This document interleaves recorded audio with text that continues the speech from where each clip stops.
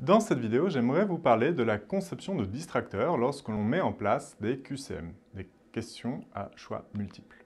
Alors déjà, qu'est-ce que c'est un distracteur? C'est la mauvaise réponse. C'est-à-dire que si je vous mets un QCM avec quatre réponses possibles, vous en avez souvent trois mauvaises. Et je vais enfoncer une porte ouverte. Si ces distracteurs, c'est évident que ce sont des réponses fausses, finalement, si c'est trop facile à deviner, le QCM a presque aucun intérêt. Donc déjà, il y a un travail à faire pour euh, faire en sorte que ces distracteurs bah, soient un peu complexes, qu'il y ait un peu d'ambiguïté, de subtilité, pour qu'on puisse se tromper. Sinon, ça n'a pas beaucoup d'intérêt de faire l'exercice. Mais dans cette vidéo, j'aimerais aller plus loin et de penser en fait le distracteur comme un révélateur de conception erronée.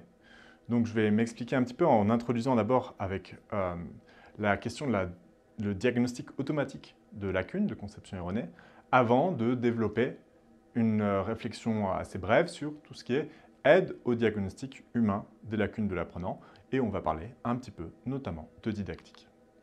Donc, les recherches en intelligence artificielle en, éducation, notamment sur ce qu'on appelle les STI, les systèmes tuteurs intelligents, dès les années 80, avaient permis de développer des travaux sur euh, l'identification automatique des lacunes de l'apprenant.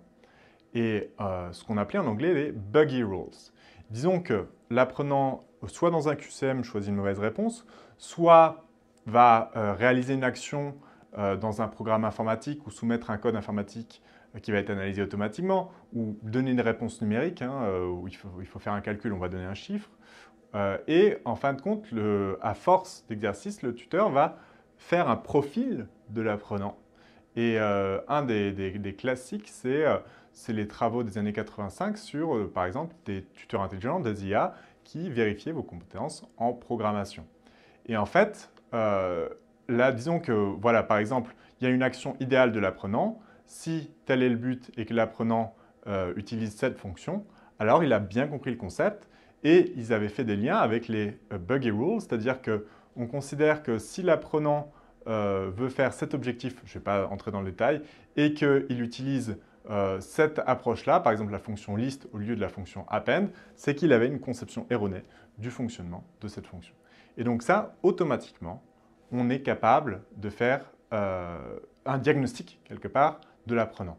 Alors, on peut faire une analogie avec la médecine, où il y a des IA, vous regardez IBM Watson Health, c'est assez utilisé dans le monde anglo-saxon, où euh, on va avoir des arbres de décision qui sont parcourus par la machine. Hein, c'est notamment des, là, en l'occurrence, c'est plutôt des systèmes experts. Et on va euh, aider le médecin à trouver la maladie du patient en fonction des symptômes qu'il entre dans la machine. Alors, c'est assez peu développé en France, bien davantage dans le monde anglo-saxon.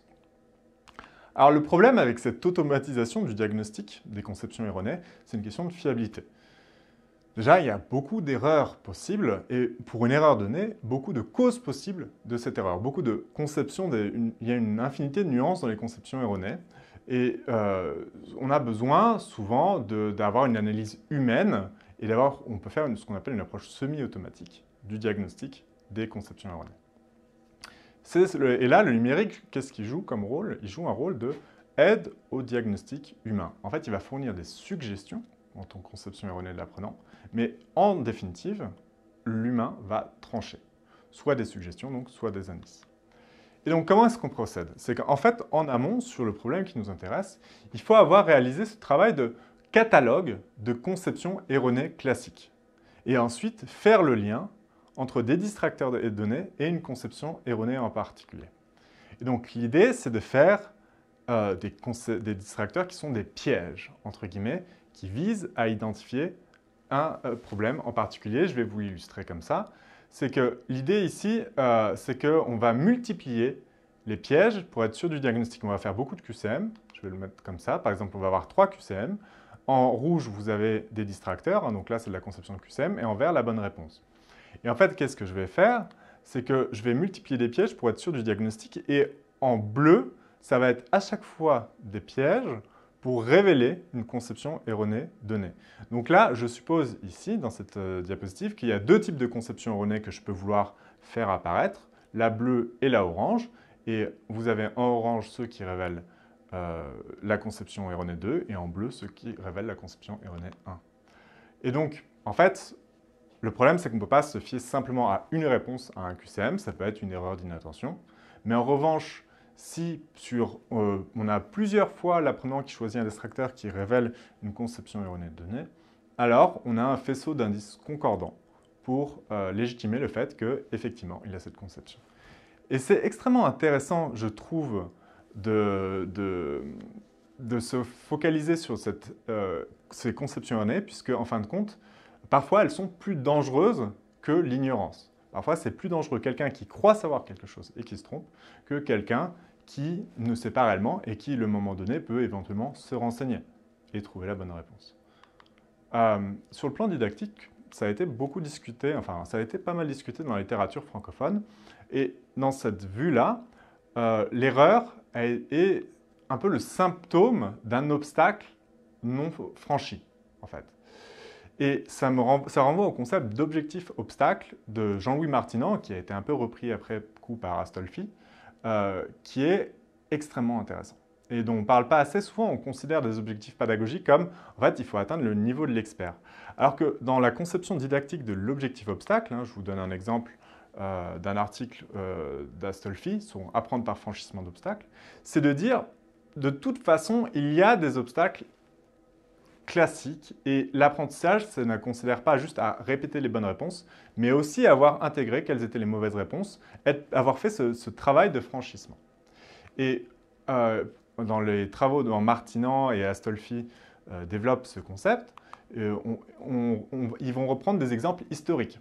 Par exemple, quand on veut comprendre le fonctionnement du système solaire, le géocentrisme est un obstacle, enfin une conception erronée du fonctionnement euh, du système solaire, qui est un obstacle classique. Pourquoi? Parce qu'en fait, si on se fie à nos simples sens, quand on est enfant, on voit le Soleil qui tourne autour de la Terre, et ça, correspond un vrai changement de paradigme d'imaginer que c'est l'inverse, que c'est la Terre qui tourne autour du Soleil, même si quand on se place sur le sol et qu'on regarde en l'air, on a l'impression que c'est le Soleil qui tourne autour de la Terre. donc ça, c'est un obstacle classique, et en fait, on, on obtient dans absolument tous les domaines de ce type d'obstacle, que ce soit l'informatique, la biologie. Les didacticiens, souvent d'ailleurs, il y a beaucoup de travaux pour, sur un champ donné, révéler quelles sont les conceptions erronées. Et donc, si on, peut vraiment se fonder sur les travaux des didacticiens pour avoir ce catalogue de conceptions erronées, et ensuite, à partir de là, en dériver des distracteurs, des QCM, qui vont permettre de révéler ces conceptions. Et ça, c'est une conception assez intéressante. Et là, par exemple, pour reprendre l'exemple de tout à l'heure, là, on aurait en bleu les distracteurs qui révèlent une vision géocentrique de l'univers. Donc ça, c'est quelque chose qui est assez simple à faire en fin de compte, mais qui demande un peu de réflexion sur le plan didactique et pédagogique, et c'est quelque chose qui mériterait d'être nettement approfondi. Alors en termes de perspective, voir les choses de cette manière, c'est entièrement repenser le rapport à l'erreur. Donc l'idée, c'est que l'erreur n'est plus un révélateur, c'est un révélateur, mais ce n'est plus une faute. Ce n'est pas que ça en tout cas, ça nous permet de nous positionner par rapport à des obstacles à franchir. Et donc ça, évidemment, c'est un changement assez conséquent par rapport à une conception assez française de l'erreur comme faute.